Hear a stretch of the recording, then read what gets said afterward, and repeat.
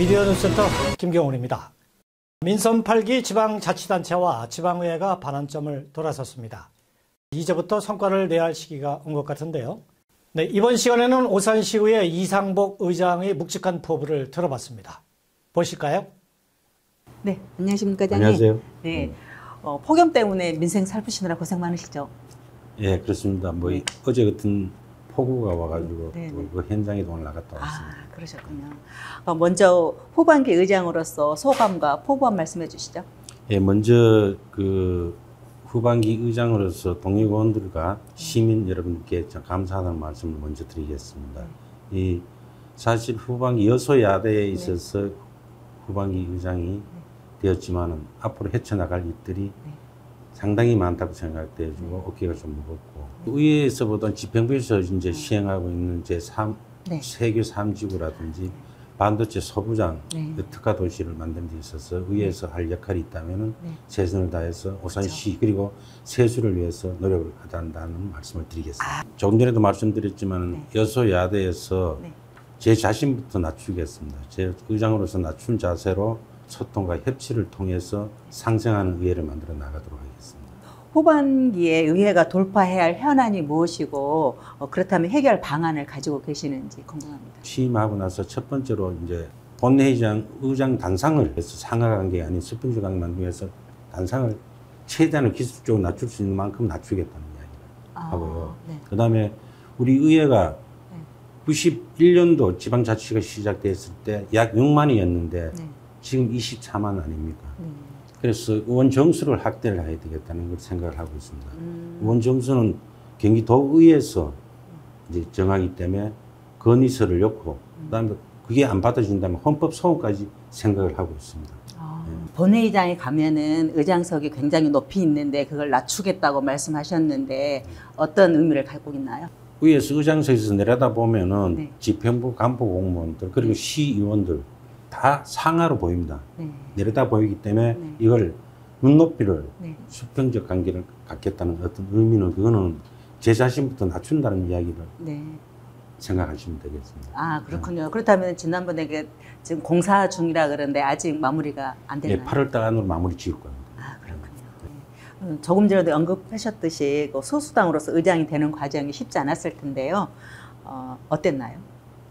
예, 그 이번에 의장단 선거를 통해서 제가 느낀 거 있다면은 정말 순리대로 살아가면 된다. 음. 억지로 내가 뭐가 돼야 되겠다는 보다는 어떻게 할 것인가를 먼저 생각하겠다는 이야기를 하겠습니다.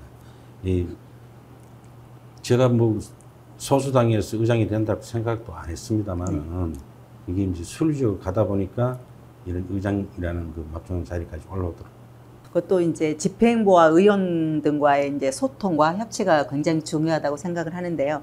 어떻게 이끌어 나가실지 궁금합니다.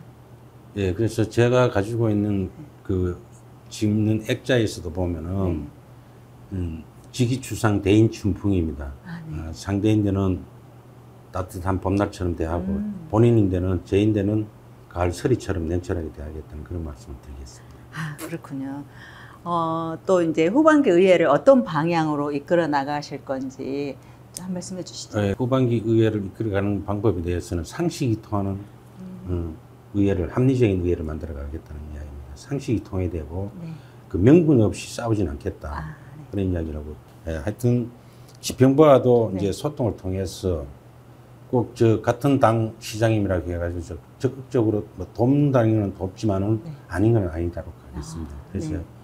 그 의회의 감시와 견제 기능을 유지하면서 네. 집행부와는 건강한 긴장 관계를 유지하겠다는 말씀을 드리겠습니다. 네. 정치에 입문한 뭐 계기나 동기가 있었을까요? 제가 2002년도에 오산에 왔습니다. 네. 오산에 와서 네.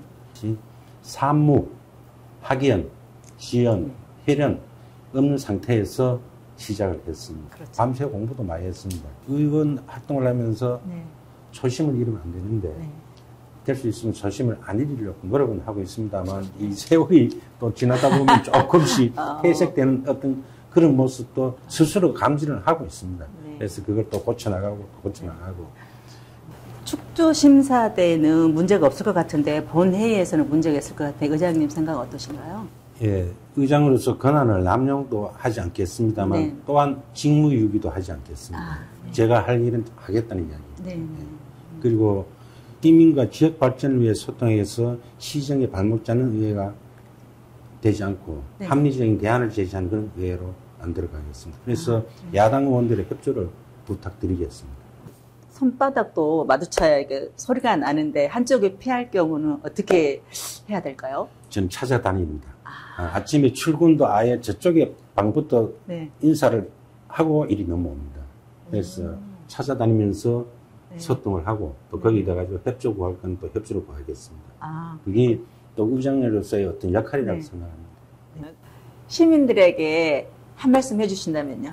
우리 시의회를 이제까지 좀 불미스럽게 많이 봤습니다. 우리 시의회를. 그래서 제가 후반기 2년 동안에 그 품격이 있는 의회를 만들어서 청렴도를 높이도록 하고 네. 시민들만 바라보고 정말 슬로건대로 네. 시민의 뜻대로 확실히 행동하는 오산시 의회가 되도록 노력하도록 하겠습니다. 아, 네. 바쁘신데 시간 내주셔서 진심으로 감사드립니다. 네, 네, 감사합니다. 감사합니다.